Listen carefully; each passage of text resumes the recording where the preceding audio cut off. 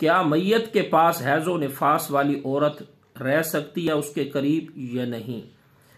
बिसमीम वसलाम रसूल अम्माबाद मोहतरम नाजरीन अल्लाम वरहमल वबरक आज इस वीडियो क्लिप की विसात से बड़े ही अहम और ज़रूरी चंद एक मसाइल। सबसे पहला मसला जो आपकी समातों की नज़र किया जा रहा है वो ये कि मैत को गसल देने से पहले क्या मैत के पास कुरान मजीद की तिलावत करना ये जायज़ है या नहीं? तो मेरे मोहतरम नाजरीन, इसकी तफसील आप बखूबी समझ लीजिए, चूँकि हर इंसान को ये मामला पेश आने वाला है। इस सिलसिला के अंदर सबसे पहली बात ये आप याद रख लीजिए कि मैत को गसल देने से पहले अगर मैत को चादर के साथ ढांक दिया गया है तो उसके पास कुरान मजीद की तिलावत करना ये जायज़ है, इसके अंदर कोई हरज नहीं।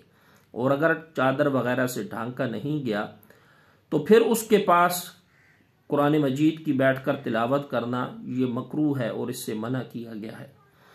या दूसरी सूरत जायज़ ये हो सकती है कि इंसान किसी दूसरे कमरे में बैठकर मैत से दूर होकर कुरान मजीद की तिलावत करे तो ये जायज़ होगा। और इसी तरीक से मैत के करीब बैठकर तस्बीहात वगैरह ज़िक्र अजकार वगैरह करना, ये जायज़ है, शरण इसके अंदर कोई ममानियत नहीं है।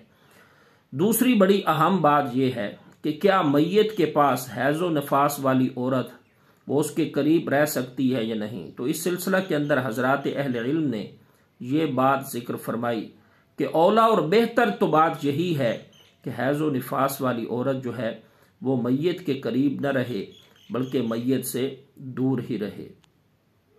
मज़ीद इस्लामिक मसाइल के लिए आप इस चैनल को ज़रूर सब्सक्राइब करें, वीडियो को लाइक और शेयर करते हुए एक अच्छा सा कमेंट ज़रूर करें। जजाक खैरा।